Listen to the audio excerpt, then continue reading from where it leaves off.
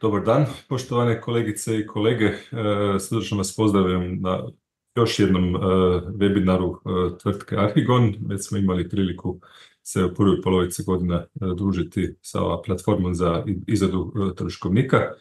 I ja bih sada pozdravio ponovo našeg kolegu, ne našeg kolegu, nego kolegu Marka Bašića, suvlasnika tvrtka Arhigon, inženjer građevine, a zajedno sa njim je to i Jurica Lovaković koji informatički obrađuje ovu kompleksnu platformu.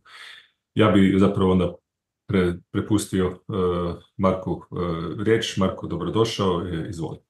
Hvala lijepo, dobar dan svima, evo i hvala vam što ste se okupili ovako u većem broju i veliko zanimanje. Evo možda da krenemo sa nekakvim dalje uvodom.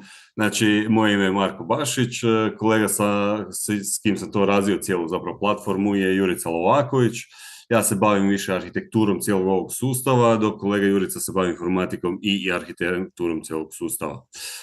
Arhigon kao platforma je zamišljen zapravo da bude namijenjen prvenstveno arhitektima, odnosno projektantima, arhitektima, građevinarima, strojarima i elektroinženjerima.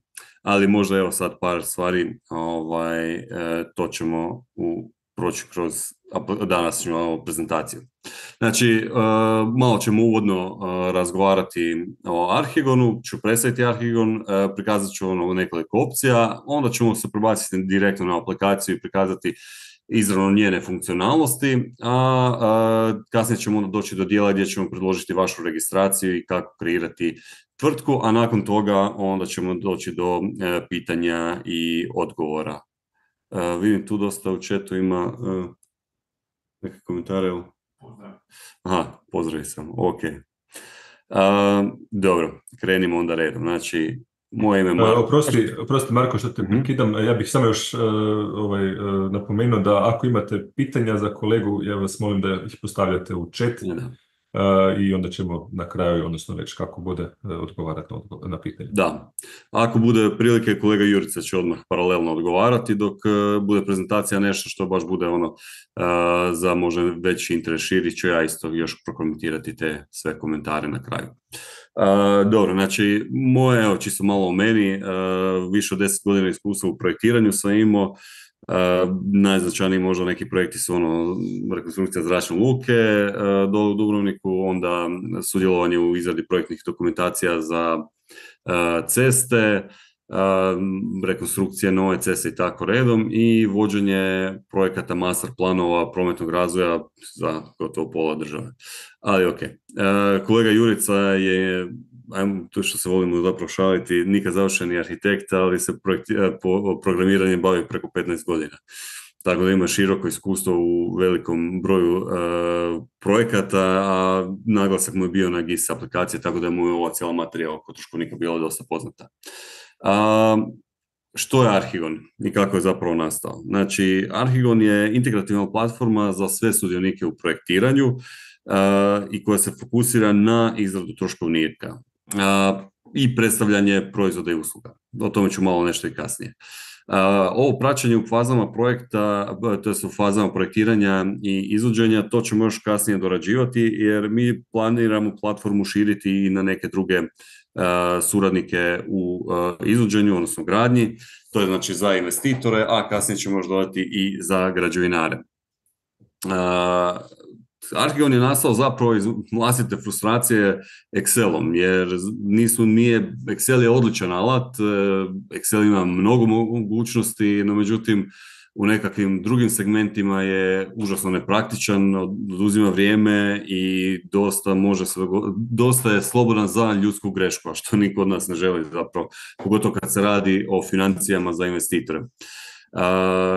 Nadalje, to smo, kad smo utvrdili taj problem, smo išli ga riješiti i napravili smo jedan specifičan software koji je namijenjen prvenstveno projektantima. Na tržištu da, postoji nekoliko drugih još rješenja, no međutim nijedan od njih nije fokusiran direktno na projektante i da bude jednostavan za korištenje. I to je ono zapravo što smo mi htjeli napraviti. Ovo korištenjem Arhigona, to je još jedan put u digitalnoj tranziciji, čisto da se digitaliziraju stvari, da postanu komunikacija između suradnika puno jednostavnija, lakša, brža i da sve teče kako treba. I da, znači nastoje kao rješenje za ubrzanje vlastitog rada. Nekakve glavne značajke zapravo cijelog sustava su samo treba malo pomaknem.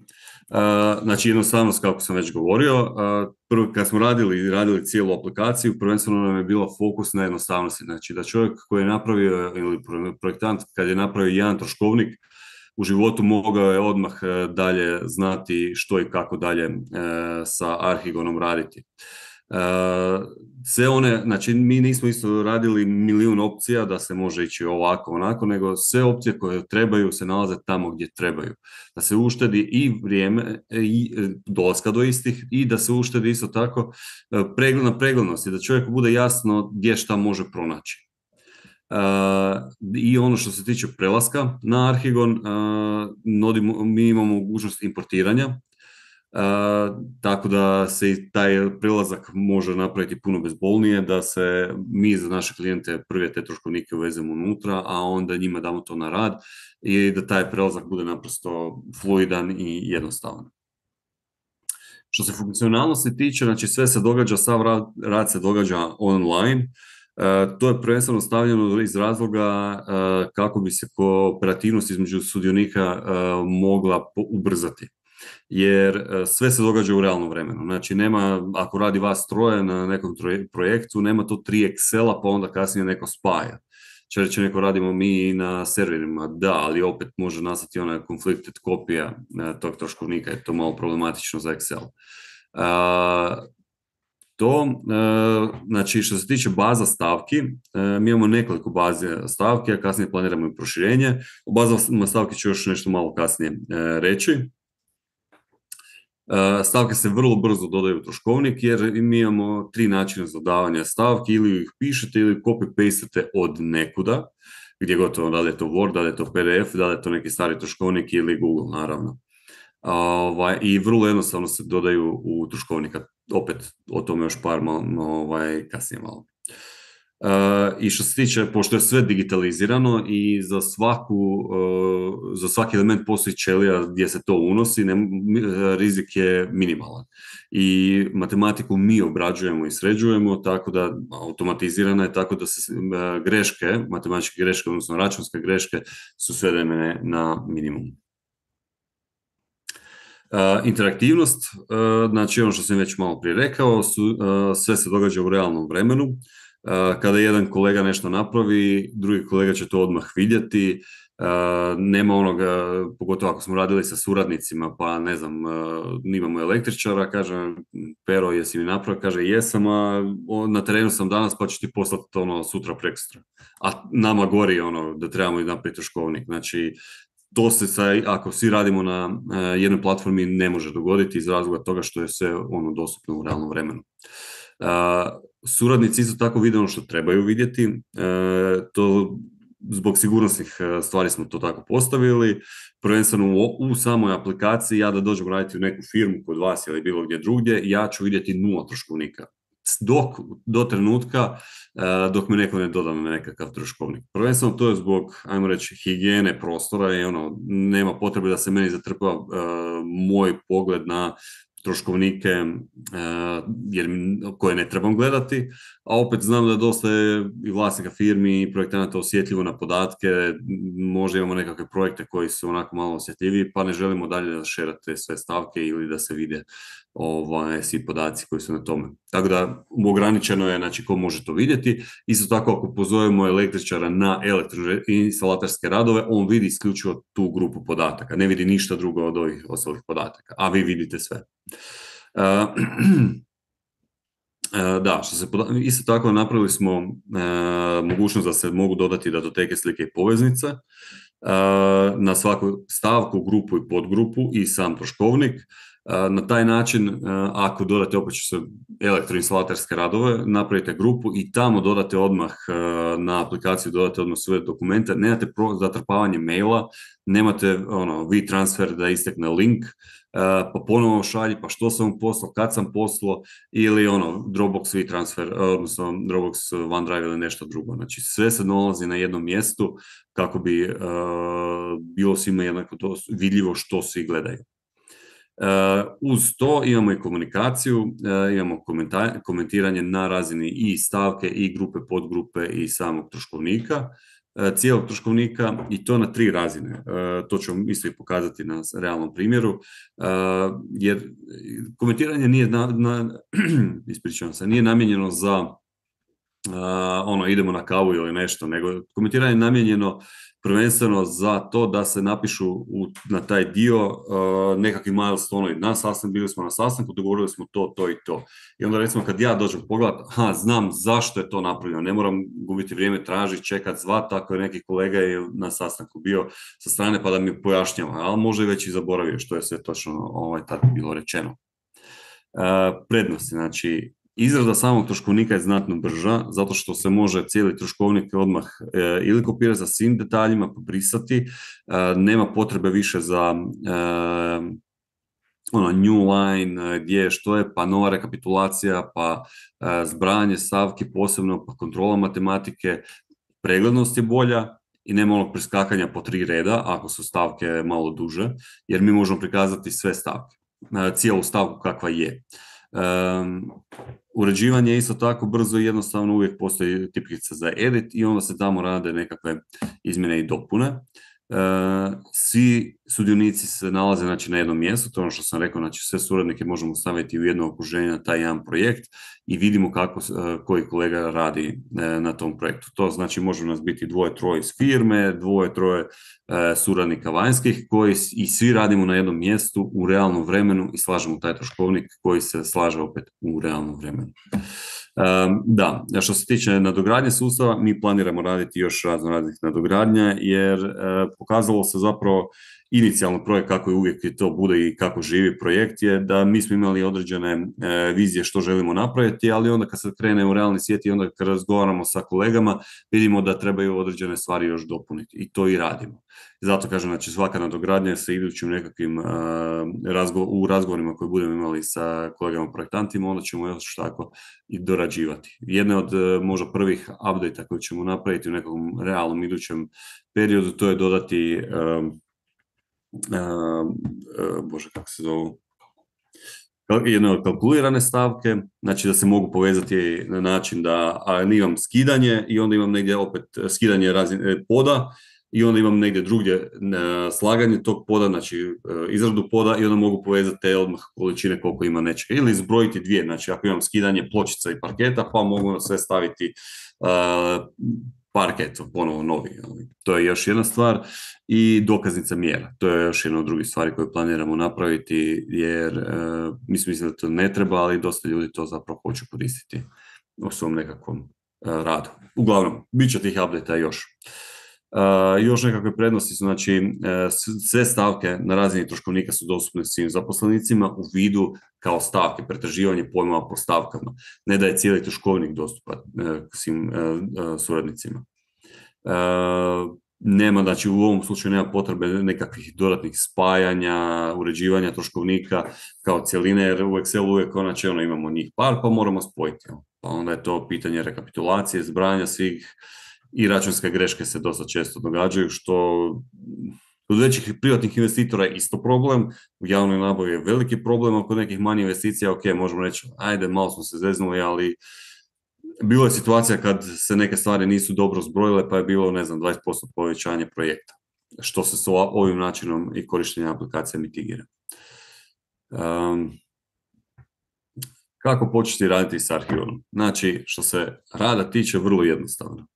E, najbrži način znači, koji mi predlažemo našim e, suradnicima je da daju nam svoj nekakav najveći, najbolji troškovnik sa najviše stavki, mi ga ubacimo u sustav i sa ta opcija omogućena je vama, samo koristimo onda taj prvi troškovnik kao nekakav primjer za vas, kako možete urediti vlastite dalje troškovnike i importirati ih u sustav. Mi imamo nekoliko baza stavki, imamo našu bazu stavki koja ima par stotina stavki unutra, vjerojatno ćemo još u iduće neko vrijeme povećati, ali krajnji cilj je zapravo maknuti tu cijelu bazu izvan sustava jer uz nama zajedno rade i proizvođači i zastupnici materijala, što se mogli odmah vidjeti na početku, budem ih sad još pokazao sada, čije ćete stavke moći koristiti e, u svojim troškovnicima. Znači, ovo su nekak, e, naši suradnici, proizvođači i zastupnici materijala koji su kreirali svoju bazu stavki na platformi Archigon, u, s obzirom da se u svaku stavku mogu dodati datoteke, slike i poveznice, oni su na sve te stavke dodali svoje nekakve tehničke listove, specifikacije, DVG nacrte, slike povezane e, za taj konkretan proizvod i e, poveznice na njihove direktne linkove. Vi kad dodate još e, stavku na, u svoj troškovnik sa njihovim specifikacijama, imate jedan mali njihov logo koji se nigdje neće printati van. Znači, konačni proizvod troškovnika neće biti vidljiv njihov logo, ali kroz sustav je vidljiv njihov logo da znate od koga ste uzeli te stavke i imate onda kontakt podatke u firmama koga možete direktno kontaktirati za eventualno dodatna još nekakva pojašnjenja. E sad, što se tiče praktične demonstracije, budemo napravili jednu registraciju korisnika, napravit ćemo troškovnik i pokazat ćemo kako se dodaju ovaj, dionici na sam taj troškovnik. Evo ga, ja ću se sada zatvoriti ovu prezentaciju i direktno se prebaciti na aplikaciju. Ups, tu, to isključiti, evo ga to. Znači ovako, ajde evo, sad ćemo se odlogirati. Znači ovako, vi kad se logirate unutra, prvenstveno možete doći i sa naše web stranice e, na samu ovaj, aplikaciju. Tu gore desnom uglu imate e, prijavu, kako kliknete na prijavu, doćete tu do e, login stranice.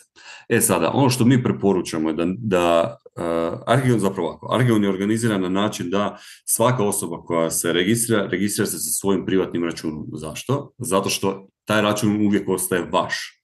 Kasnije službeni računi se dodaju na taj e, vaš profil. Znači ako ja dođem ne znam, u Wienerberger ili Hauraton raditi, ja ću dobiti Hauraton account, ili Wienerberger, ili Aqua, ili Pipeline, ili gdje god, dobit ću taj dodatni, ili ima Pay, nešto, dodat ću taj njihov account. Ili kod nekakav projektantski ured, naravno. Uh, s tim Znači da kad se tu logirate unutra, imate ovaj, tu faktor autentifikaciju i kažem zato je jednostavniji način registracije. No međutim, ako to ne želite jedno od ove dvije verzije koristiti, možete se naravno ići tu na registraciju, pogledajte opće uvjeti politiku privatnosti i ispunite svoje podatke i registrirajte se. I to je to. I onda ćete tu ovaj, na prijavi upisati svoje podatke i možete tako ući. Ja koristim Gmail account, ja, svoj privatni u biti. Kad se logiramo unutra, Ono što smo rekli, znači mi smo napravili sustav stvarno jednostavno. Projektant kad se logira unutra vidi odmah svoju listu troškovnika na kojoj je on dostupan uh, i tu dalje onda kreće dalje raditi sa troškovnicima. Uh, ove zvijezdice su tu, znači da se neki projekt može dodati na listu favorita i da ako više, ako se nalazimo u nekim projektima i želimo skakati između projekata, oni su uvijek tu dostupni, možemo iz jednog u drugi projekt ići. Evo recimo, ja ću sad ući ovaj projekt. Znači, ovo izgradnja ceste Zagreb-Virovitica koja ne postoji, naravno, ovaj, ovo je više kao demonstrativni troškovnik za prikaz funkcionalnosti Arhigona.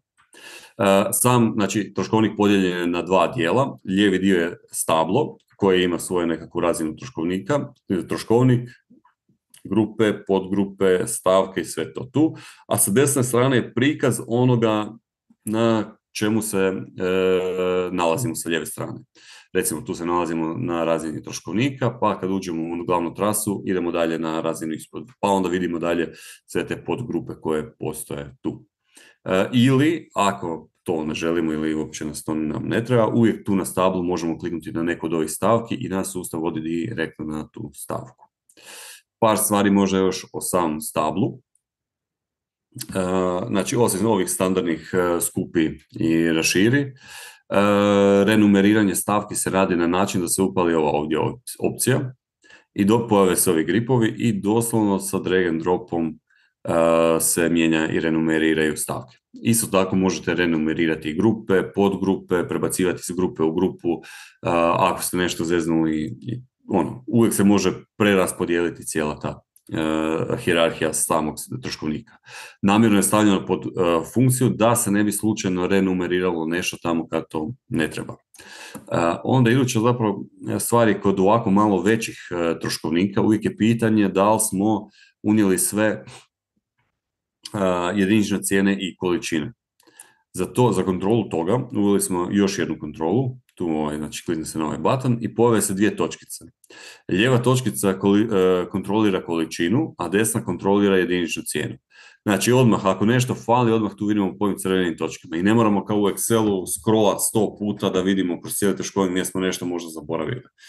Jer ono, kako se, mislim, barem se meni to isto događalo, ono kad se scrolla, stalno je sve jednolično i naprosto ne vidi se ono što se treba vidjeti, da smo nešto fali. Ovako na ovaj način možemo evo, scrollat sad dole, aha, evo tu imamo nešto što fali.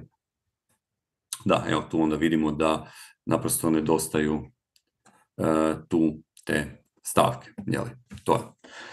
Um, isto, znači to možemo isključiti jer nam ne treba to stalno, pa da ne smeta da imamo malo veću vidljivost. Nadalje, e, pretraživanje stavki pred, e, se radi na način da se ovdje upiše nekakav, krene upisivati nekakav pojam, minimalno tri slova treba upisati i sustav highlighta sve stavke u kojima se nalazi taj pojam. Ja sam evo tu kao beton krenuo pisati, ali poanta ovoga je zapravo da treba upisati minimalno tri slova i to će se pronaći tu na stablu. E sad, za još nekakvu e, detaljniju kontrolu stavki i cijena stavki uspore da vidimo da li smo nešto možda fulali, da ne moramo ovdje klikati, e, to je scroll kroz cijeli troškovnik.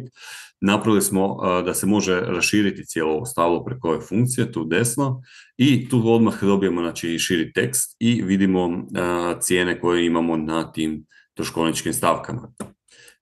I ovo služi za nekakav, ajmo reći, brzi pregled detaljno stavki oko cijena. I to naravno možemo vratiti jer nam ne treba to cijelo vrijeme. E sada, e, što se dodavanja stavki tiče, evo ću možda tu u grupu, e, što se dodavanja stavki tiče, znači stavke se dodaju preko ovog plusa. E, znači on se nalazi i na početku, na kraju, sredini, gdje god. Znači gdje god kliknemo na ovaj plus, možemo dodati stavku. Kada kliknemo na to, otvara se forma za dodavanje stavki i sada mi imamo tu opciju, znači ili upišemo ili u copy-pastamo od nekud, ili imamo dostupnu bazu stavki koja se pokreće tu preko ovog povećala. Kad kliknemo na to, otvorit će se forma za pretraživanje. I sad ja mogu tu napisati bet, rak. I poanta ovoga je zapravo da ne moramo e, pisati punu rečenicu i pojmove kako se one pišu u e, samom tekstu. Jer, znači, moj stil pisanja stavke nije isti stil pisanja vaše stavke pa, to nećemo, pa ja onda neću pronaći tu stavku. Ovako na ovaj način, uh, odnosno od kolega ili u firmi, na ovako na ovaj način uh, i smo isto izbjegli i padeže koje mi u Hrvatskoj imamo. Jeli? Tako da evo, znači na ovaj način sad je on pronašao meni sve stavke u, kroz sve troškovnike u kojima se nalaze ovi pojmovi. Znači, ja imam tu ovu stavku, ok, vidim da se ona nalazi u, troško, u kojem troškovniku i vidim kad sam ju kreirao. I meni se tu kad kliknem na news, desne strane mi se pokaže cijeli e, tekst te stavke i jedinične cijene koje sam koristio u tom troškovniku. Kada kliknemo ovdje na prikaži detalje, tu će mi se prikazati one datoteke slike i poveznice. Ova stavka konkretno nema nikakve te slike, ali budem pokazao isto tako i e, gdje ima. Kažemo odaberi i meni cijeli taj tekst, znači stavke, uđe u formu za uređivanje stavke gdje ja sad mogu naravno tu još dodatno ovaj, e, urediti.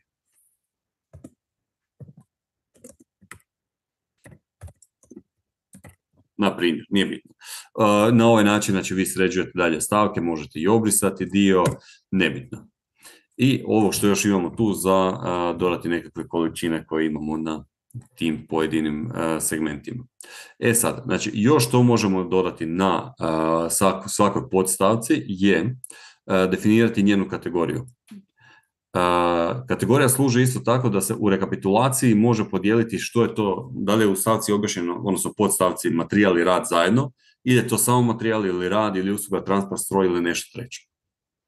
E sad, ja sam dosta često susreo da su, da su investitori željeli da se razvoji e, rad i materijal i upravo ovo način kako to možete napraviti. Ako on želi da se razvoji jedno i drugo, vi ovdje imate opciju definirati materijal ili rad i onda po tim svim kategorijama ćemo, kategorijama ćemo moći u rekapitulaciji vidjeti koliko, nas, e, koliko imamo kojeg dijela, u kojem e, grupi i podgrupi.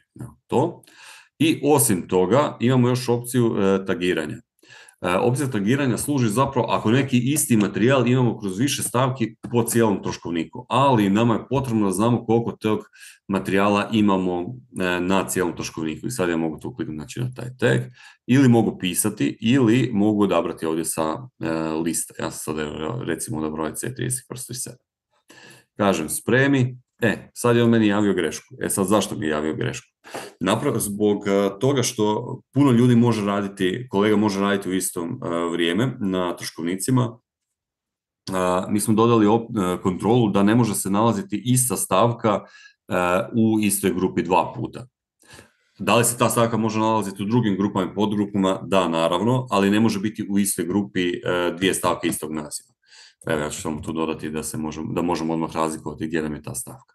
Kažem spremi i ona uđe u moj troškovnik. I na taj način zapravo ja uh, uređujem, dodajem stavke. Znači samo pretraživanje baze i umetanje u troškovnik i onda kasnije dorada. Ono što još možemo napraviti, Evo recimo ovako, sad imamo, ono sad da se vratim na proizvođači zastupnika, kako dođemo do njihovih stavki. Evo recimo dodaj stavku, idemo tu i sad ne znam, primjer Haurata Sad kliknem to i njihova stavke mi se tu pokažu. Kliknem na nju, odmah dobijem tu desno ovaj, nekakav dodatni opis. Oni su čak i stavili jedinične cijene, odnosno više su to projektantske cijene. Ja se ispričavam. znači, to su projektantske cijene tu stavljeno. Kad kažemo prikaži detalje, oni su tu priložili znači, još nekakve tehničku dokumentaciju, tehničke listove za poboljšanje opisa tog proizvoda, link direktno na njihovu stranicu, znači i slike e, koje se nalaze, koje bolje još opisuju taj proizvod. Kažemo da beri, to uđe unutra. Mi sad naravno, ako radimo za javnu nabavu, možemo doći tu i maknuti ovaj dio, još i onda staviti nekakve dodatne opise i ono što smeta, da ne bude prepoznavanje prema direktno prema za javnu nabu da se vidi da je to ta firma i uglavnom na ovaj način možemo to srediti. Kažem spremi i meni uđe taj, ta troškovnička stavka u moj troškovnik. Ovo je ono što sam naglasio tamo negdje malo i ranije, ovaj logo se neće nigdje vidjeti. On služi prvenstveno tu da znate za vas, da znate od koga ste uzeli tu stavku i k tome da kad kliknete naći na tu, taj logo, dodate, dobijete još dodatne opcije, odnosno kontakt podatke za tu firmu. Odmah možete vidjeti telefon koga možete nazvati ili poslati mail za dodatno pojašnjenje. znači evo, to je sad, kliknite se na sliku, može se vidjeti sve te slike. Još samo da se trum vratim na ovu stavku koju smo mi kreirali. Uh, jedna stvar koja se pokazala kao zanimljiv detalj koji nismo izravno planirali napraviti, ali kao funkcionalno je zanimljiva stvar, a to je da ja dođem kod vas u tvrtku, neko moram provjeriti moj rad. I sad da netko ne mora paliti uh, CAD uh, ili Alpan ili 3D, ovaj, ArchiCAD, znači što ja mogu napraviti da bi poboljšao, poboljšao opis ove stavke, znači napravim nekakav print screen sustava ili kreiram sliku, odem tu u redi stavku, slike, zalijepi, digni i ta slika dođe unutra. Kažem, zatvori i odmah, odmah se ta slika nalazi u stavku. Evo ga. Znači na ovaj način. I neko kad ide kontrolirati meni je stavku, ok, da vidimo je to to, aha, da vidim što on tu mislim, aha, to je taj detalj, ok to možemo tu staviti. Naravno, vi možete staviti JPEG-ove ili neke druge slike uh, isto unutra, ali ovo je više da ne moramo ići ono napravi sliku, pa spremi, pa negdje nađi, pa onda idi opet upload i to. Ovo smo napravili da se izravno to može napraviti u sustav. I možda još jedan zadnji nekakav update koji smo napravili na samim stavkama je da e, ovdje možete definirati nekakvu boju stavke u smislu da ona vama služi za nekakav podsjetnik. Da li je to ovako, da beremo tu crveno i tu se pojavi ta crvena trakica. Znači vi kad scrollate kroz troškovnik, aha, meni crveno znači da još nisam završio. Isto tako ta boja se nalazi tu sa, u stablu. kraj ove stavke. Možemo tu još dodati još neku boju, recimo plava, ili još odemo tu, možemo dodati, ne znam, zelenu, što je nešto gotovo, jel? Može još bolje ovako, da se vidi. I odmah, znači, tu sve te boje vidim u stablu, po cijelom troškovniku. Znači, te boje će vidjeti svi oni koji rade na tom troškovniku. To je više napravljeno namijenjeno za nekakav izravnu ovaj, vašu uh, odluku kako ćete vi označavati te stavke prilikom izrade samih stavki. E sad, imamo još par opcija, a to je, recimo ući u ovu stavku, a, samo trenutak da ovo pomakne malo, ne znam, ne, to može ići. Znači ovako, mi na svaku u samoj stavci možemo definirati sekcije u smislu da želimo još nekakve stvari još dodatno objasniti i poboljšati. Znači možemo dodati tu sekciju i kažemo armatura i ovdje, ovdje je opis za gradilište. Evo, i to uđem. I sad to pomaknem samo trenutak, pomaknem tu gore. I kažem spremi, evo vidite, znači ovo, imam tu odmah armatura i to je, tu se nalazi taj dio. Uh, evo, to je još nekakav zanimljiv uh, detalj koji se može napraviti na samoj stavci. Osim toga, tu gore, znači kad se uđe u stavku, ovdje gore uvijek vidite tko i kad je napravio stavku. I imate povijest te stavke. Znači možete ići u povijest te stavke, de, i mislim treba napravili arbitrarnu deset povijesti da možete vidjeti, jer smo smatrali da je to nekako dovoljno, da dovoljna dugačka povijest da možete e, pogledati što ste prije napravili, ako ste nešto zeznuli pa se vratiti nazad na taj dio. Evo, to je to. To je što se tiče samih stavki. E sad, kod, e, na razini grupa i podgrupa postoji dvije zanimljive stvari, a to su prva, e, evo ovako, znači imamo varijante, znači možete znači svakoj grupi, podgrupi možete raditi varijante. Možda najbanalniji, najbolji primjer je za stolariju, vam investitor ne zna da li hoćete ugraditi e, aluminij, drvo ili plastiku. I onda vi dođete tu, ok, to imamo grupu radova, ok, ajde imamo napraviti sad varijantu te, e, te grupe, dodaj, i kažemo dodaj varijantu i sad ću to napisati. Varijanta 2. Kažem spremi, ona uđe mi tu u troškovnik, idemo napraviti još jednu, evo recimo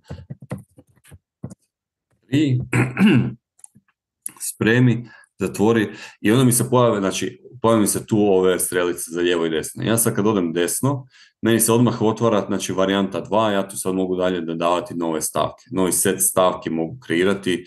Evo, nova stavka je 2. Spremi. i tu doći znači još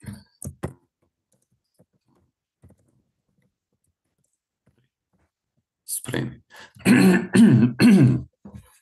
Evo Tako da, znači, na ovaj način ja mogu napraviti sebi pod istom grupom različite stavke, e, različite varijante tog, te iste grupe. To je ili, znači neće jedna, druga i treća ući u troškovnik, nego jedna ili druga ili treća. A ona, a kako napravim znači to koja će ići u troškovnik, to je da kliknemo ovu tu kvačicu. Znači, ta, po definiran, e, kad se na kojoj se varijanti klikne ta kvačica, ta će ići u rekapitulaciju.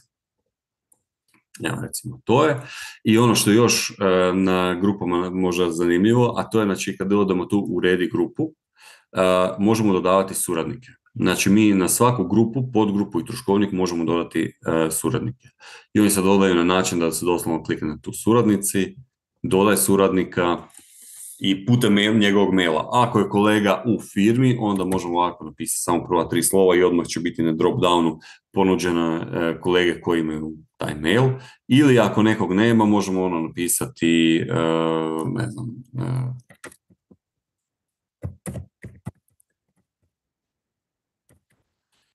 Elektrika HR i dodamo mu nekakvu razinu.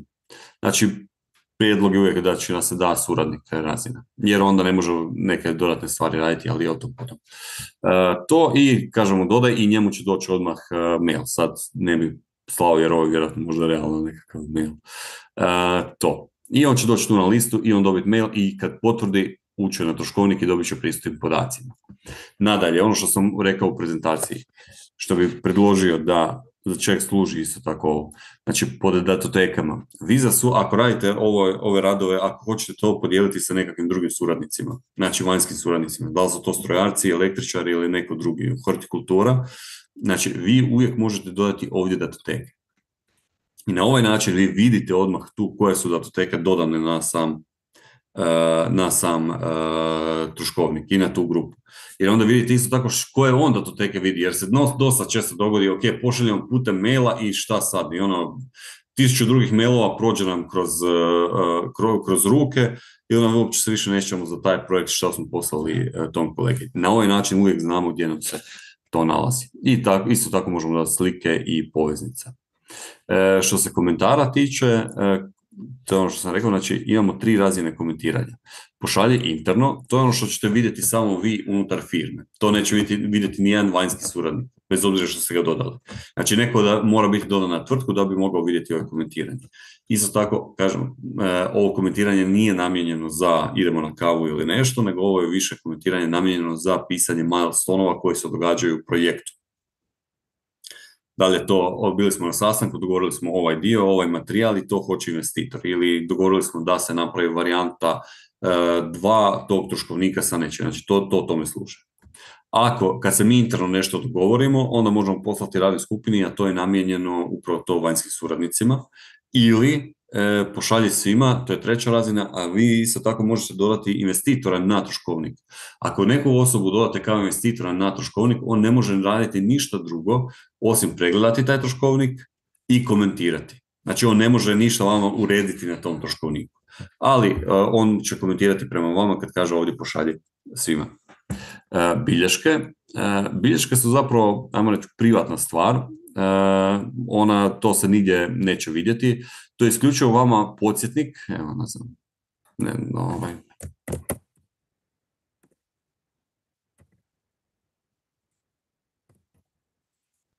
možemo dati tu nekako, ne znam, boju, spremi. Znači, to je nešto, ono, vama da e, ne morate pisati e, na papiriće kraj e, računala.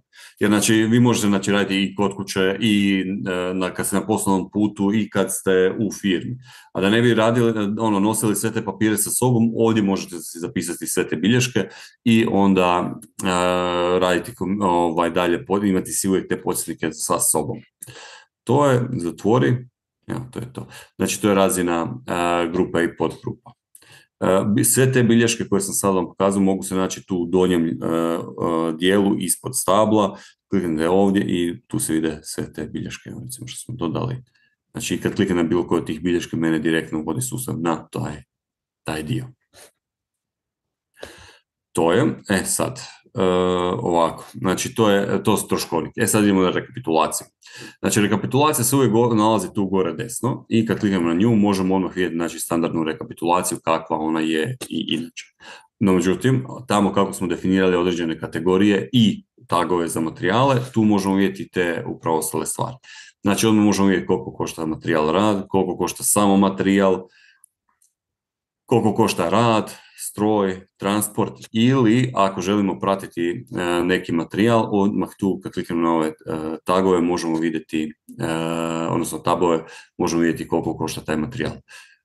Da, trebamo se vidjeti samo cijena, ali u idućem updateu ćemo dodati tu i količinu da se vidi koliko tog materijala stvarno i ima. E, nadalje, kada smo zadovoljni sa ovim cijelim troškovnikom i kada smo ga napravili da hoćemo ovaj, izvesti ga van, krajnji rezultat je nekakav Excel. I to radimo na način da odemo tu gore desno, imamo izvoz i imamo omogućen izvoz u Excel.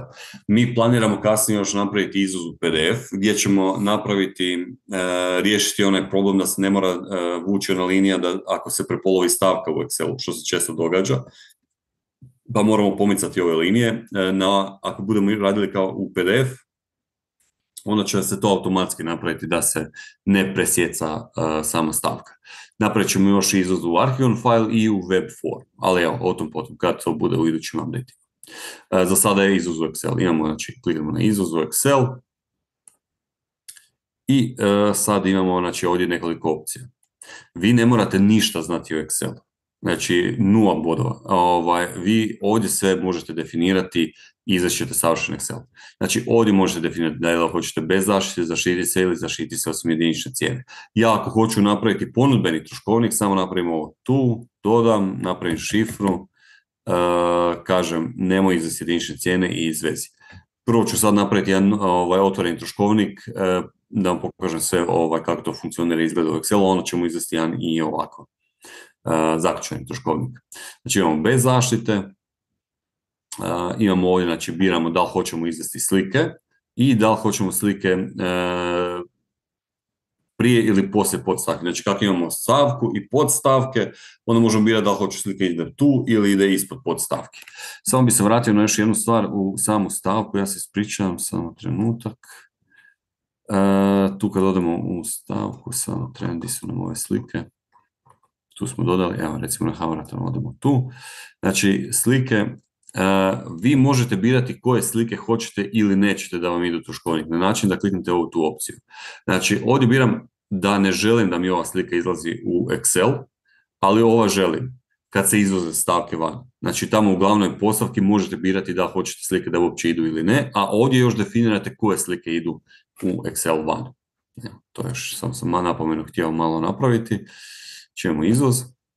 Znači slike, ovdje biramo znači, jedinične cijene, hoćemo ili nećemo da se izvoze van i imamo izvezi grupe prve razine u zasebne liste. Ovdje definiramo da li hoćemo da se stavke, e, to jest da se da li, hoće, da li želimo da li u Excelu budu šitovi ili bude sve u jednom šitu. Znam da određeni naručitelji žele da bude sve u jednom šitu, pa onda to je ova opcija, kažem, isključimo ovo i sve će biti u jednom, jednom šitu. E, to. Ako hoćemo imati te e, šitove, odnosno radne knjige, ovdje možemo još odabrati opciju da se e, napravi mini rekapitulacija na početku svakog tog radnog lista. Koristi, e sad ova zadnja opcija, zapravo ja uvijek predlažem da ona ostane uvijek od, odznačena, jer što radi? Znači vama Excel po visini može prikazati oni 409 jedinica, 409,5, tako oni to nekako označavaju. I onda ako se dogodi da stavka sadrži puno više teksta koji vizualno nestane u stavku, generalno u stavku stane, ali vizualno nestane, onda vam se to neće vidjeti. Mi smo napravili da mi po defaultu, kada printamo van u Excel, odnosno kad izlazi iz arhivona u Excel, ta stavka, ako se neće vidjeti, se lomi u novu čeliju. Pa novu čeliju. Mi stavimo sve, skog god čelija treba da se stavka može e, vidjeti u cijelosti. Ova opcija negira tu mogućnost i zapravo cijeli tekst stavlja u istu čeliju. Bez obzira što se neće vidjeti, ali evo, imali smo par investitora koji su željeli da ne, mora biti se u jednoj čeliji. Ok, postoji opcija za to. Znači imamo ovo zadnji, zadnji dio, kažemo odabir grupa, mi ne moramo izvesti cijeli troškovnik, nego ovdje možemo definirati koje grupe ili podgrupe želimo izvesti van. Evo sad ćemo izvesti jedan troškovnik.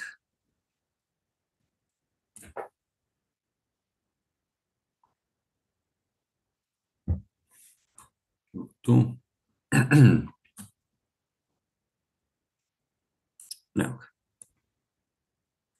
Znači, to ćemo sad kasnije pokazati. Znači, postoji dio gdje vi možete definirati podatke koji idu na nastavnu stranicu. Imamo rekapitulaciju koja je povezana direktno tamo gdje treba biti povezana. Evo, čisto malo povećano se vidi. Znači, sa svim formula, cijeli Excel je izvezan sa formulama. Znači, ovo je poveznica tamo gdje to treba biti povezano opći uvjeti, znači imate dio gdje se mogu definirati opći uvjeti, to ćemo isto sad još malo pokazati. I ono što sam rekao, mi lomimo to u čelije da se mogu vidjeti kako spada. Znači. I sad imamo glavnu trasu kao troškovnik. S tim ono što možda nisam napomenuo, mi imamo na razini troškovnika možete definirati svoje opće uvjete, ali isto tako na svakoj podgrupi i grupi možete definirati njihove još dodatne opće uvjete ili napomene kako to želite. Znači imamo to, tu su nekakvi opći uvjeti, onda pripremni radovi imaju još svoje uvjete i dolazimo tu do stavki. I sad kad kliknemo na stavku, tu je kompletna matematika posložena i to sa funkcijom round. Zašto? Da ne bi došlo do računske greške.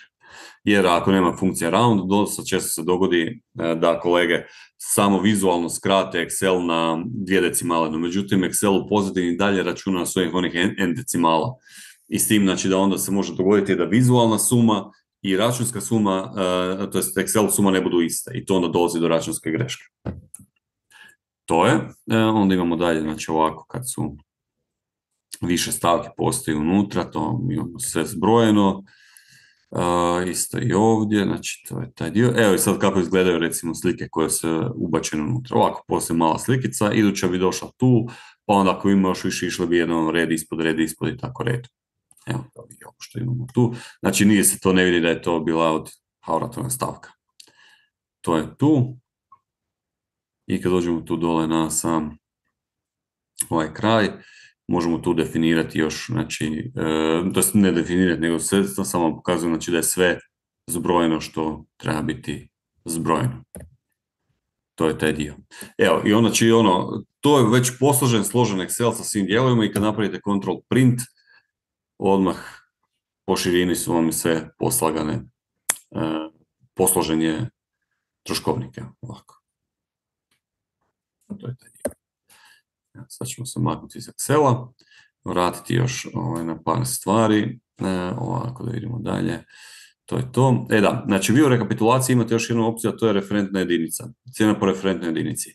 Konkretno, ovo je, ovo je e, troškovnik napravljen za cestu dužine 100 km.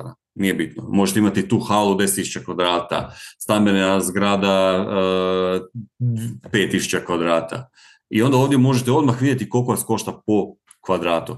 To je još jedna ono vizualna kontrola vama da li ste negdje dobri sa cijenom i da li je to cijena u redu. Da kažemo zatvori. E da, što se postavki na samom troškovniku tiče, e, evo sad ćemo to proći još malo, uredi troškovnik, postoje tu nekakve još dodatne e, opcije. Na primjer, znači osim naziva, ok, imamo opis koji se nigdje ne vidi, ovo je više vama nekakva interna uputa kako želite da se radi taj troškovnik, za koga je to što treba obratiti pažnju i tako nešto. Znači, generalne upute za izradu troškovnika koje su samo za vas. Rok, status, metarski sustav. Ja znam da u anglosaksonskom oni imaju nekakve drugčije troškovnike, ali imate tako i imperijalne jedinice, pa se možete prebaciti na imperijalne jedinice ako to želite. I ono što sam rekao sad zadnje u uh, samoj uh, rekapitulaciji, postoji referentna količina gdje se ovdje može definirati ta nekakva količina, da li su to kvadrati, kubici, kilogrami, tone, litre ili nešto drugo što bi vam trebalo u nekoj fazi. E sada, imamo postavke razina. Uh, postavke razina na, ovdje pod ovom opcijom možemo definirati kako želimo da naš troškovnik se numerira. Znači, razina 1 je ono tipa 1, razina 2 je 1.1, razina 3 je 1.1.1 i tako redom. Znači, za svaku tu razinu možemo definirati da li to hoćemo da bude broj, slovo, malo, rimsko, malo i tako redom. Isto tako i pozadina, ova može biti kako god hoćemo, znači crvena, pa, odnosno, pardon, boja teksta, boja pozadine, znači sve to možemo definirati ovdje i tako će izaći van u troškovnik. Isto tako ovdje možemo za podstavke definirati da li hoćemo bez numeriranja ili da ima isto tako neko od ovih numeriranja. E, imamo onda postavke stranice, znači ovdje definiramo nekakve e, margine. Predložio bi da ih trenutno, ne, mislim možete ih naravno, imate opciju da ih mijenjate, ali da ih ne mijenjate s obzirom da smo mi namjestili tako da cijelo vam cijeli troškovnik po širini fino stane u, u, u, na, za print pripremu. I onda ovdje imamo još zaglavlje i podnožje. Možemo tu definirati isto kao u Excelu, nekako ono zaglavlje i podnožje. Da bude tu. Svim jedna napomena da trenutno ne možemo dodati sliku u zaglavlje i podnožje, to možete dodati ono, direktno u Excelu što je minuta posla. Ali u nekom updateu dodat ćemo i taj dio. Znači to je, i imamo onda e, korisnički definirana polja. E, korisnički definirana polja služe za upisivanje onoga što će ići na naslovnu stranicu. Trenutno nemamo editor naslovne stranice, ali e, u, opet u idućoj fazi planiramo i to doraditi da možete onda odmah kompletnu stranicu vizualno doraditi kako hoćete da izađe van. Ali evo, znači tu sad imamo taj dio i s tim da ovo možete definirati na razini tvrtke. Znači ove tu prve, prvi ovaj stupac možete definirati što hoćete na razini tvrtke, ovo će vam biti prazno i svaki put kad otvorite novi troškovnik će vam ovako izaći, uh, ćete izaći ovakva forma, jedino što trebate je popuniti ove podatke. Evo, to je. Onda imamo dalje lokacija. Uh, lokacija trenutno sirovi podatak, ali postoji nekoliko logika iza nje. Mi još planiramo tu dodati dashboard da imate i onda ćete vidjeti uh, sve vaše projekte gdje vam se nalaze. No, međutim, ono bitnija stvar je kako imamo proizvođače i zastupnike materijala. Na primjer, beton vam ne košta isto u Slavoniji, Zagrebu i dole u Dubrovniku. I onda ćemo mi po geolokaciji, kad budete pretraživali stavke, nuditi vam one najbliže stavke gdje vam je projekt, da imate što točniju kalkulaciju. E, nadalje, imamo znači investitor, e, trenutno nemam, e, ovo isto za sad sirovi podatak, no međutim, kako smo rekli, mi planiramo se i za investitore raditi određene opcije, a jedna od njih je baza stavki. E sada, ako dodate nekog investitora koji ima bazu stavki i on nas potvrdi da ste vi njegov projektant, u tom trenutku ćete dobiti pristup njihovoj bazi podataka, odnosno bazi stavki i projektirat ćete sa njihovom bazom stavki. Evo, znači onda imamo opće uvjete opet ovdje, znači na razini, e, na razini e, troškovnika koju možemo ovdje tu otići, pokrenuti, znači baza, pardon, znači baza tih općih uvjeta se ovdje tu, odnosno predlošci se pronalaze ovdje i sad kad kliknemo na bilo koje od ovih, meni će ti opći uvjeti ući u troškovnik, kao što je recimo ovi tu što su ušli. E, datoteke, slike, poveznice, komentari, znači sve standardno ovo što se može vidjeti na samom, urediti na samom troškovniku i suradnici. E sad, generalno to je to što se tiče uređivanja i kreiranja troškovnika. Ono što bih vam sad htio još pokazati kako se kreira novi troškovnik i kako e, importiramo e, troškovnike unutra.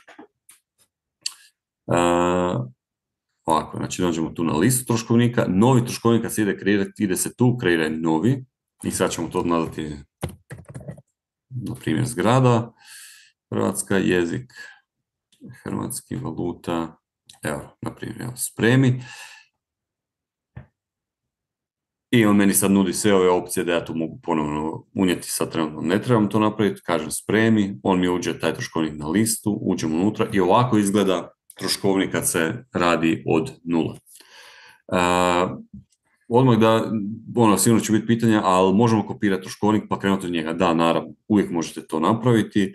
Znači, evo, sad ćemo doći tu, evo ovaj troškovnik, tu sa desne strane je kopiraj i sad imamo tu nekoliko opcija. Naravno, novi naziv, kopiraj stavke da, neću kopirati količine jer mi ne treba u novom troškovniku stare količine, hoću jedinične cijene i hoću da teke slike i poveznice. I s tim da ne moram kopirati sve, nego ovdje mogu doći i odabrati koje grupe, podgrupe, iz cijelog tog troškovnika želim kopirati u novi troškovnik. To je još jedna od opcija. E sad, kad radimo kompletno iz novoga, onda možemo krenuti ovako. Prvo, idemo strukturirati troškovnik i to radimo na način da kliknemo opet na plus, dodaj grupu, ja ću sad opisati zemljani radovi, na primjer. Tako, spremi. Dodaj još jednu grupa, betonski radovi. Idemo tu. Ova lista što se ovdje pojavljuje, znači to je lista svih vaših e, e, grupa koje ste, i grupa i podgrupa koje ste kreirali u vašim troškovnicima. Tako da možete i reciklirati same nazive. Evo, bez spremi. Ili u nekom slučaju ako ja znam da u nekom troškovniku već postoji sređena, složena grupa radova koja meni odgovara u ovom troškovniku, ja idem znači opet na plus, kopiraj iz, imam tu uh, ovaj troškovnik recimo, uđem u njega, ja kažem, e, ovi pripremni radovi su top, to je ono što mi baš odgovara, kliknem na njih, ovdje pogledam koje su mi to stavke, u redu, i ovdje još imam par opcija za birati. Znači, kopiraj količine, defaultno je ne, jer u novom troškovniku mi vjerojatno ne trebaju nove količine, ali imate opciju da ih možete isto tako kopirati. Imamo dalje jedinične cijene, da teke slike poveznice, kažem u redu,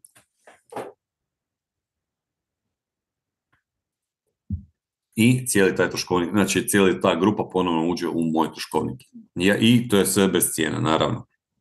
Ja dalje mogu, ovaj, evo, znači slike su sve tu koje su bile, koje smo stavili ovaj, za pojašnjenje. Znači, evo, to je na način kako se gradi novi troškovnik. I sad ja tu grupu idem, naravno mogu dati opet suradnike ovdje i tako red. to je. Što se importiranja troškovnika tiče, samo trenutak, evo ja ću vam pokazati jedan troškovnik kako on sad izgleda, što je bitno. Znači, mi ne možemo trenutno uvesti sve troškovnike onaka, evo, kakav je. Vjerojatno ćete morati raditi malo, malo uređivanje e, tog troškovnika kako bi ga mogli uvesti unutra. A sad nekakve glavne postavke toga za ovo ću vam sad ispričati. Znači imamo ovako numeracija mora biti posložena kako spada, znači broj 1, građevinski obrtnički radovi, ok. I imamo ovdje nekakve opće uvjete koji su u redu, to ćemo isto uvesti unutra, imamo pripremne, radove koji su 1.1 i onda imamo dalje e, stavku koja je opet numerirana. Ono što je bitno kod stavki, ovaj matematički dio ne može biti u razini sa e, stavkom, nego mora biti u novom redu. Jer u biti, mislim, to je nekako logično, jer dosta često se dogodi da imamo neke stavke koje imaju još podstavki. I onda se u troškovnicama dogodi neke stavke imaju u istom redu, a neke stavke onda imaju dva, tri ispod. Mislim, ja nekako volim standardizirati. Ako su stavke ispod, onda su sve stavke ispod. Evo, to. Uh, ovaj tekst ovdje može biti bilo kakav. Mi ga možemo staviti uh, tako i taj tekst će ući u tekst podstavke kao takve. Evo, to je to. O, recimo ono što je bitno da primijetite, znači ova grupa, odnosno ovaj sheet e, ima kao nazive stavki, ali nema ih u zasebnom redu. Mi možemo uvesti isto tako i stavke u zasebnom redu, ali ona mora biti baš u zasebnom redu ako želimo uvesti naziv stavke.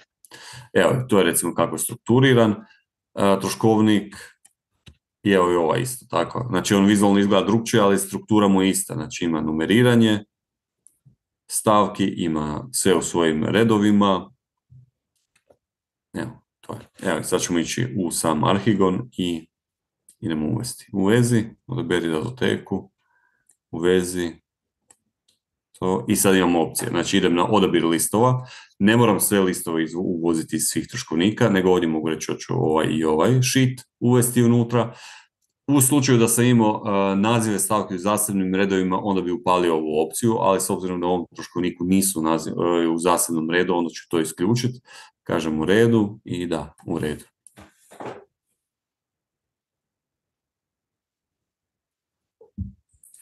Ja, uvezen, troškovnik je uspješno uvezen, ok. Došao je tu na listu, kad uđem unutra, Evo ga. Znači imali smo dva šita i, i onda u nazive smo imali dvije ovako hjerarhije. Kad uđemo unutra imam svu onu njihovu hjerarhiju svih grupa podgrupa i kad uđemo znači, u svaku tu grupu i podgrupu, evo imamo znači, sve je količine jedinične cijene. Ono što mi radimo defaultno, mi ne gledamo vašu ukupnu cijenu. I već se par puta dogodilo da kad smo mi uvezli troškovnik unutra, da su razlike suma bile različite u odnosu na Excel i ono što je uvezeno unutra. Jer naravno onda smo išli gledati i dogodilo se da neke stavke nisu bile povezane. Ili nisu bile zbrojene, ili nisu u sumi, ili tako nešto. To je ovaj, nekakav dio. Naravno, vi to onda možete sve to dalje uređivati, preuređivati i tako redom. Neki smo pitali, znači principijelno vi za, u Arhigonu ne morate raditi bazu stavki. Znači svaki vaš troškovnik koji vi kreirate je baza stavki za idući. Znači ili ga možete kopirati ili možete kroz tražilicu pronaći stavke iz tog troškovnika. Neki su mi pitali da, ali možemo mi napraviti svoj nekakvu bazu stavki. Uvijek mo, znači to otvori se novi troškovnik, ono, nazovete ga bazni troškovnik, stavite sve radove unutra, strukturirate ga kako hoćete i kad idete raditi novi troškovnik, samo ga kopirate i ovaj, e, dalje radite u novom projektu kakav on je. Evo, generalno, to je Arhigon.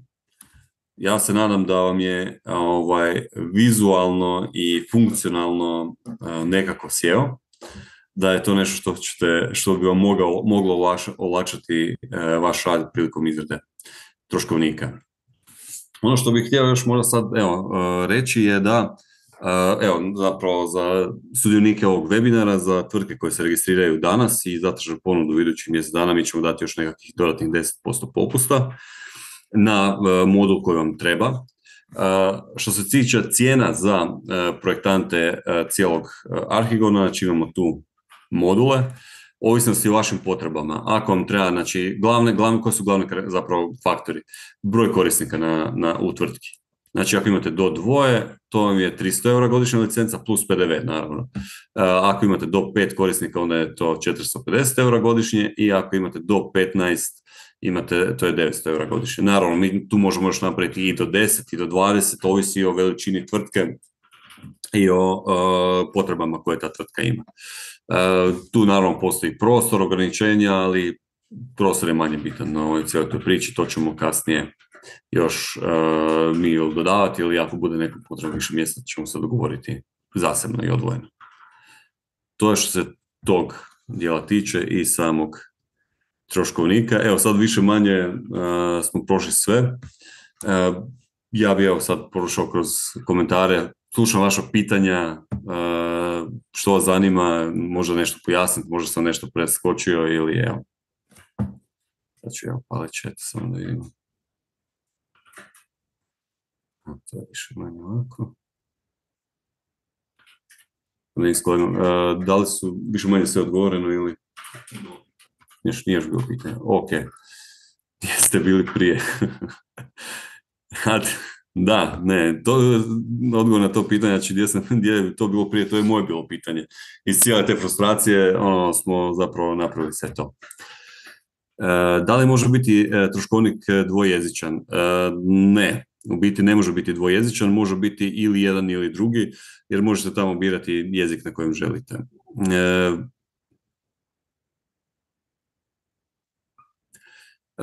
da, mislim, generalno rješenje za recimo za tu dvojezičnost možete napraviti one varijante. Pa znači u jednoj ono, pisati na hrvatskom, a tamo na engleskom. I ovako se mora pisati onda dva teksta. Ali da, to je nešto o čemu ćemo ovaj, još razmisliti malo, pa ćemo onda kasnije to još uh, doraditi vidjeti kakve mogućnosti imamo za taj dio. A, hirarhija, znači ovako, ako, uh, što se hirarhije tiče, znači ako nekog dodate na troškovnik, na sam troškovnik, onda ćete imati, e, on će imati pristup svim stavkama i grupama ispod. Ali ako nekog dodate recimo samo na elektroradove, on će vidjeti samo elektroradove i stavke u koj, i odnosno grupe, podgrupe koje se nalaze u tom troškovniku. Ali one će vidjeti ni zemljane, ni betonske, ni, ni, ni, bilo koje druge ove radove koje se nalaze e, u tom troškovniku. što znači 1 GB kapaciteta otprilike? Aha, jesi. Ha, dobro. Ok, ne bi, znači, e, to je ono koliko imate slika do teka i poveznice, evo, ako neko nije možda čitao komentare, ali da, znači, kapacitet je, e, ovisi najviše o tome kolike su vaše potrebe, koliko stavljate slika, nekakvih datoteka, šerate i to. E, aha, to je Jurica.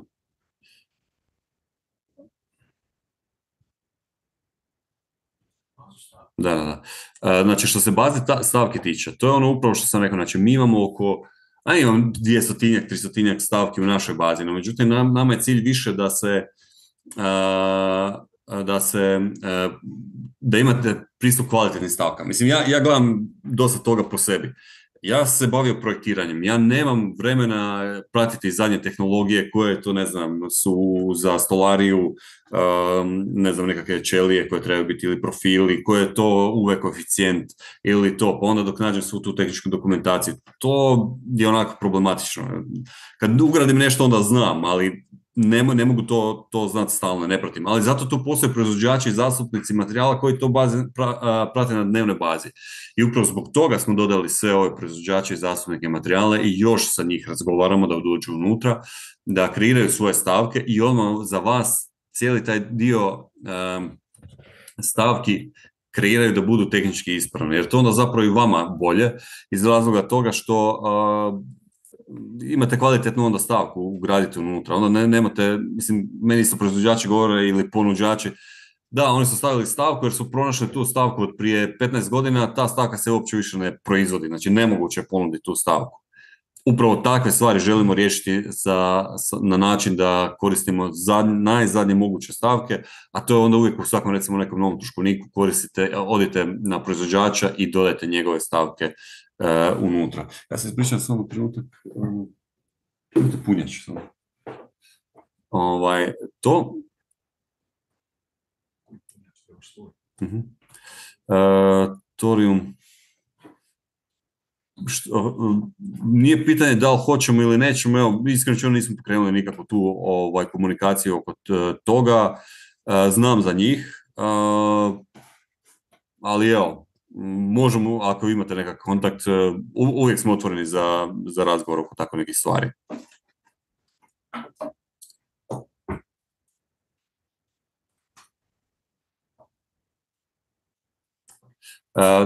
što ovako, što se tiče jedan korisnik, znači ili dva, ja sam, to se bude ja samo trenutak da ovaj, si spojim laptop.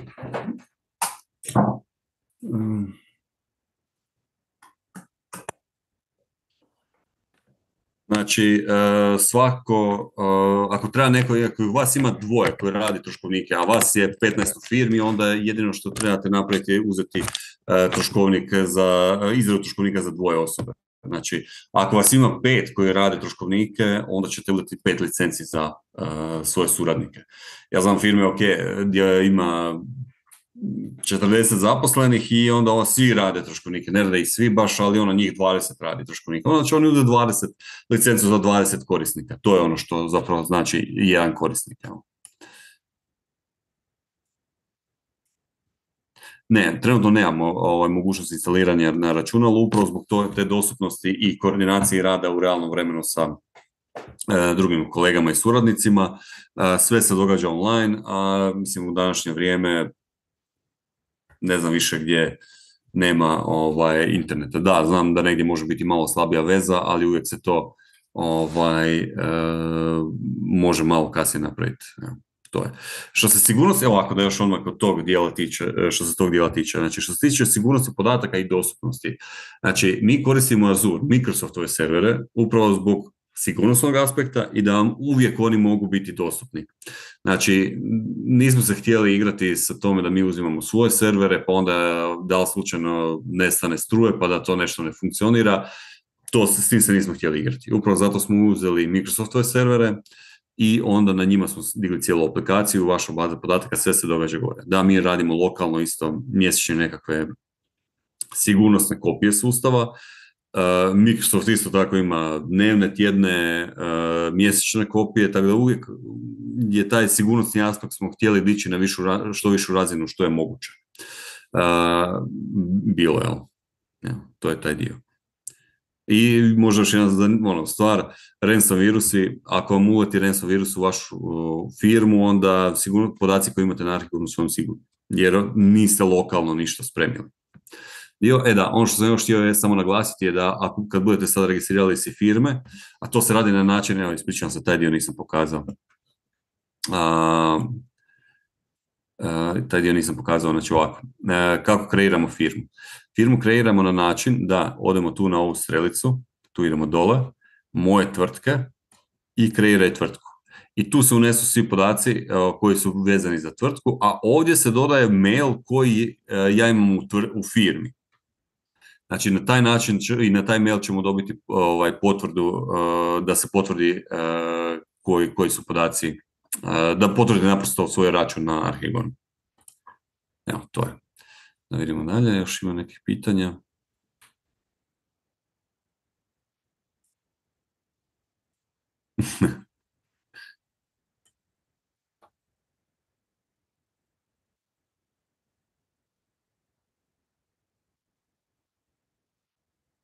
Ovako, zašto smijem? Mislim, ja sam završio TVZ, jel?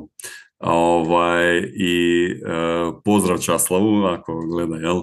Tamo, ali uh, uglavnom da, svakako. Mislim, uh, prošle godine već uh, mi imamo ugovore sa ovim, građevinskim fakultetom u Osijeku i oni su već koristili Arhigon u svojoj nastavi za studente, znači već su u, baš za smjer OG su koristili Arhigon za koordinaciju svih studenata i njihovih radova i sve su tu kažu jako je dobro prošlo. Tako da evo, nismo se ni kontaktirali oko dijela da nešto nešto funkcionira ili kako ide. Ali da, isto to smo potpisali ugovor sa Riječkim građevinskim fakultetom i s njima isto, oni su rekli da će ove godine u ljetnom semestru uvesti troškovnike u svoju nastavu. Evo, pa to ćemo vidjeti sad, ne, ne možemo reći da to potvrđujemo kao tako, ali evo, s njima isto surađujemo. isto tako neki su razgovori sa arhitektonskim fakultet, pa evo, ako postoji naravno svaka institucija, dobro doće naravno. I imamo, to je besplatna verzija za njih, za edukacijske svrhe. budem vas onda svakako kontaktirao na ovaj mail, evo, nikakav problem.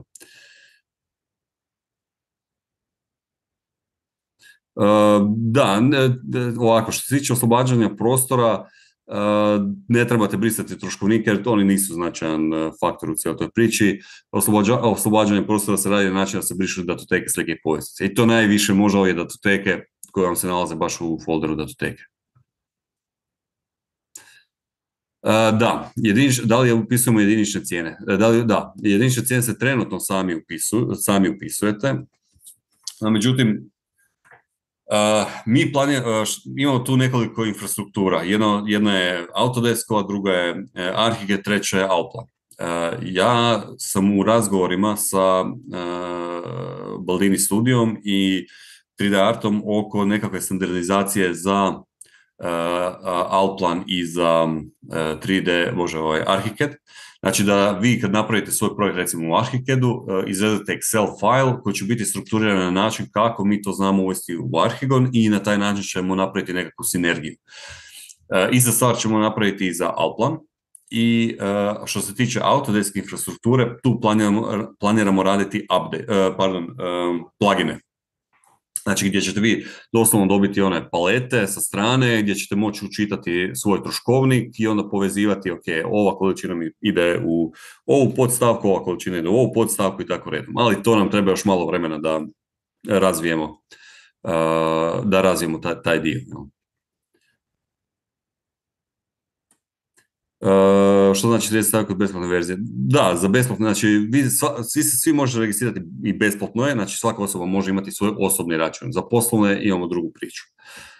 Uh, da, da, da, sve u svim grupama 30 stavki. To smo stavili više onako ako se neko hoće napraviti rekonstrukciju uh, nekakve sobe ili nešto ili kupone pa da si može staviti stavke od staviti stavke da vidi koliko će ga to koštati. A s druge strane, ako to pitate zbog firme, vi kad kreirate tvrtku, vi dobijete 30 dana besplatnog probnog perioda i možete tamo kreirati koliko god hoćete stavki, grupa, troškovnika i tako redom. Evo. To je ono što možete pod besplatnom verzijom raditi. Nikako. Evo ga. E,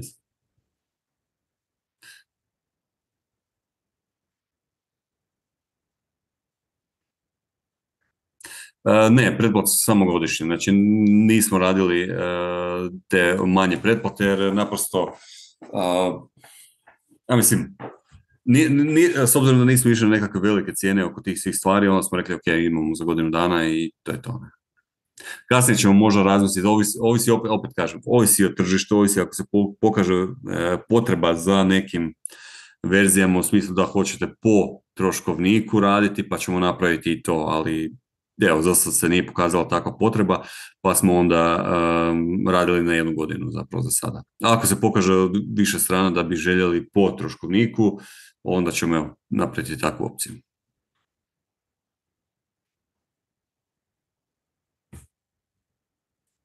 E, što se referentne količine tiče jedinice kod kreiranja novog troškovnika, ako možete, može naravno.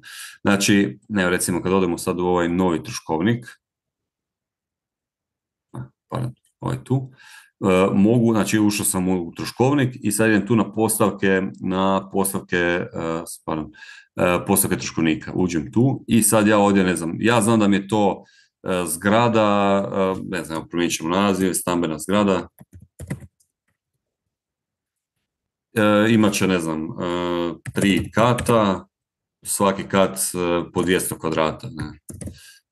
I sad, znači, to mi je ukupno 600 kvadrata, ja ću to reći, ok, 600, ups, 600 metara kvadratnih. I kažem spremi. I sad kad odemo na rekapitulaciju, sad trenutno nema ovdje ovaj, nikakvih stavki, ali onda će se meni ovdje u referentnoj jedinici mijenjati koliko mene košta po kvadratu. Znači, znači zbrojit će cijeli troškovnik, tu će znači zbrojiti cijeli troškovnik i podijeliti ti sa 600 kvadrata i onda ćete dobiti tu jedinicu po kvadratu koliko košta. Evo, to je.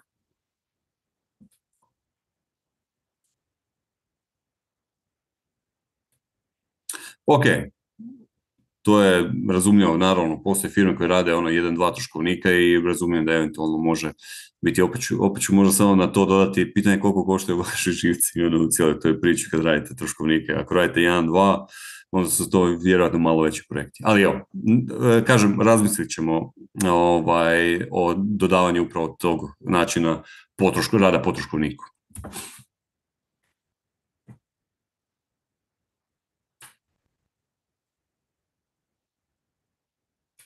Hvala lijepo.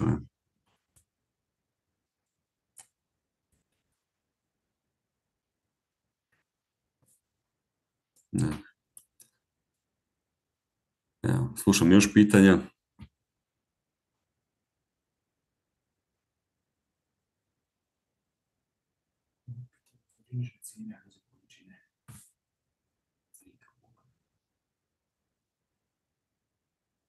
Hmm.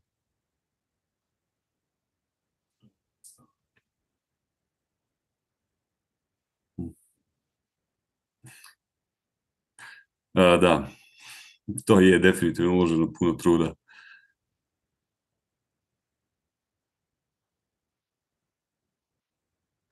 Hvala lijepo. Da, mislim, ono, još ću vam reći, znači mi smo, ovaj, imamo štand na Arhibal, pa evo sad iduća 3-4 dana ako ćete doći, možemo se i tamo upoznati, još popričati ako ima nekakvih pitanja, pa evo,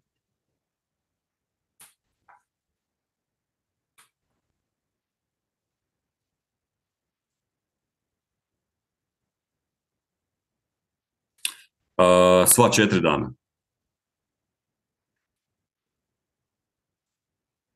Oni traje od sutra do nedjelje, su oni stavili da to traje.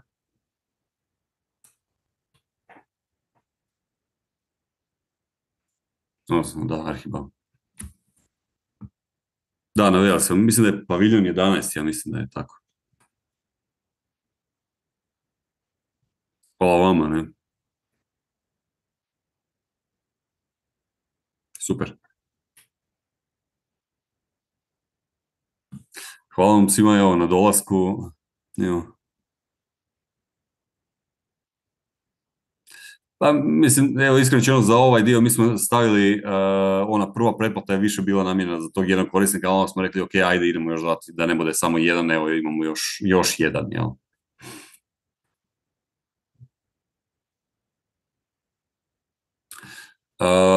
Što se Alplana tiče, znači mi sad surađujemo sa uh, Baldini studijem uh, oko razvoja eksporta, znači da vi iz Alplana izvezete određeni Excel koji je strukturiran na određeni način i da mi onda to u Arhigonu znamo prepoznati kao tako i onda bi zapravo direktno mogli um, izvesti kako projektirate pedantno i pažljivo, bi mogli izvesti taj Excel, a mi ga znamo učitati unutra i onda isto tako dobijete strukturirani ovako troškovnik direktno napravljen iz Alplana.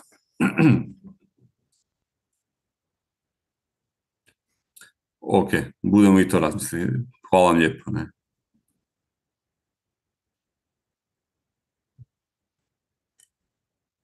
Naravno.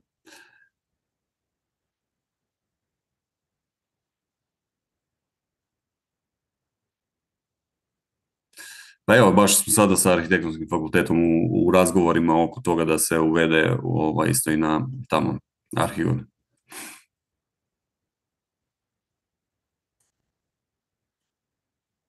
E, ja se ispričavam Zrinka, ne, ne, ne znam na koje je ovo povezano.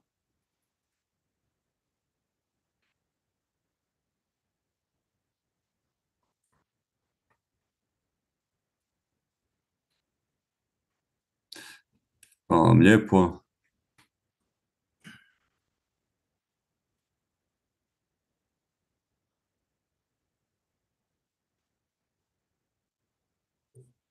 Ok.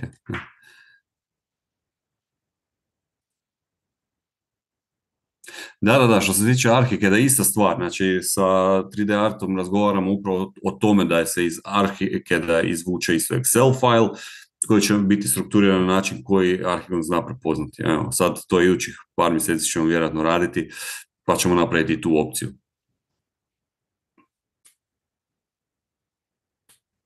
Hvala lijepo. Hvala.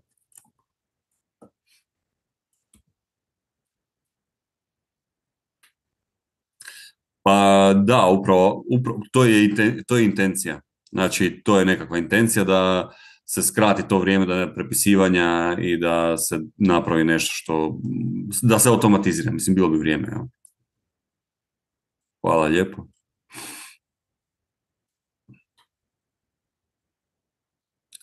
Uh, to ćete, uh, što se tiče strukturiranja tih uh, fajlova, evo, bit će obavijesti kod nas, ali će isto tako vjerojatno prvenstveno biti obavijest kroz zastupnike za Arhiged i za Alplan. Jel? Može.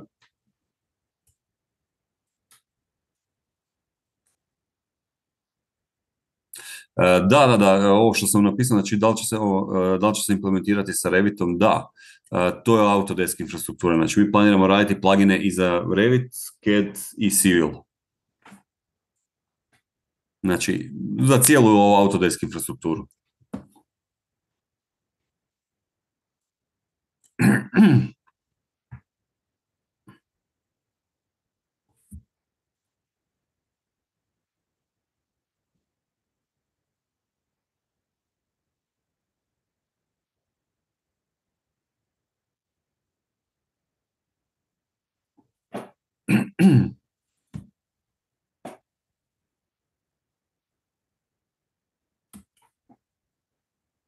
Ne.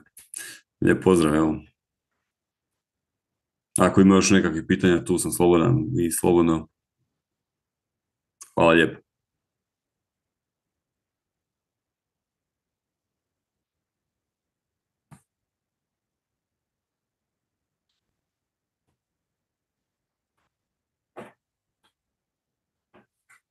Ok, da.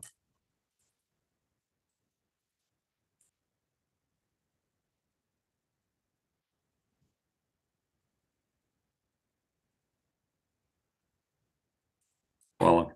Hvala lijepo.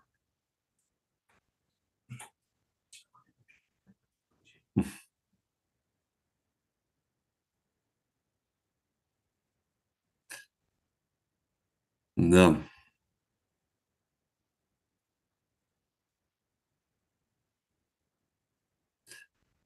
Stvari baza jediničnih cijena. Uh, Mislim, najbolja stvar bi zapravo bila stvoriti bazu stavki, ovaj, pa ćemo, to je nekako intencija, pa onda one će imati nekakve cijene, ali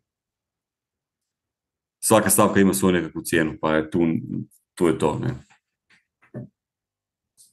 Hvala lijepo.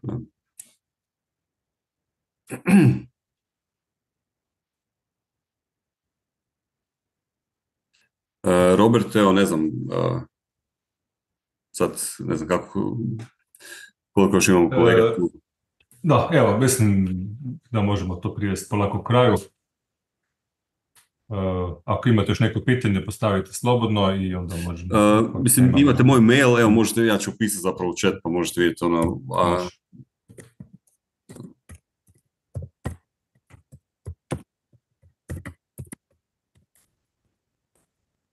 Znači, to je moj mail, tu svakako možete ili na info naš mail možete poslati bilo kako vaše pitanje, vaše, vaše pitanje upit ili što god. Eto, dobro. E, Marko i Jurica, puno hvala na uh, predavanju i na uh, predstavljanju vašeg, vaše baze, vaše baze troškovnika. Želim vam puno sreće u daljem radu i eto, mislim da ih možete uvijek kontaktirati, jako su susretljive kolege, tako da Hvala lijepo. E, da. Ništa, e, hvala puno e, svima i vidimo se opet jednom drugom prilikom. Doviđenja. Lijep pozdrav.